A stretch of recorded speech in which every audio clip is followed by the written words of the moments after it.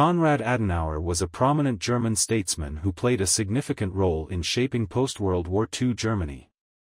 He was born on January 5, 1876, in Cologne, Germany, and died on April 19, 1967, in Rhöndorf, Germany.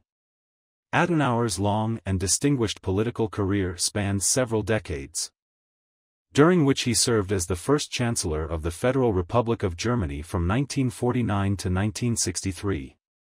Adenauer came from a Catholic family and initially pursued a career in law. He entered politics in the early 1900s and quickly rose through the ranks. Adenauer served as the mayor of Cologne from 1917 to 1933, where he gained a reputation for effective governance and modernization efforts. Adenauer's political career faced significant challenges during the Nazi regime.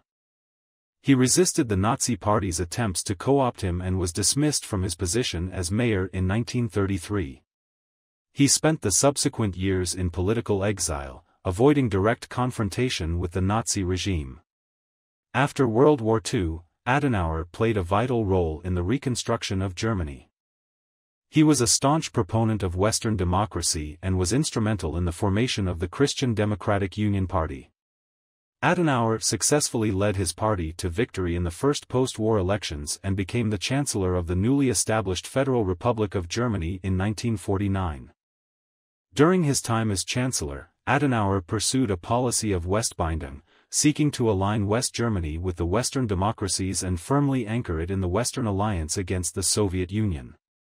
He worked tirelessly to rebuild Germany's economy, forge international alliances, and establish West Germany as a stable and respected nation. One of Adenauer's most notable achievements was his role in the establishment of the European Coal and Steel Community, a precursor to the European Union. He recognized the importance of European integration in ensuring peace and stability on the continent. Adenauer served as chancellor for four consecutive terms until 1963 when he voluntarily stepped down. His tenure saw the economic resurgence of West Germany and its transformation into one of the world's leading industrial powers. After leaving office, Adenauer remained politically active and continued to exert influence within the CDU. He passed away on April 19, 1967, at the age of 91 leaving behind a legacy of strong leadership, dedication to democracy, and significant contributions to Germany's post-war recovery and European integration. Konrad Adenauer is widely regarded as one of the founding fathers of modern Germany and a key figure in European history.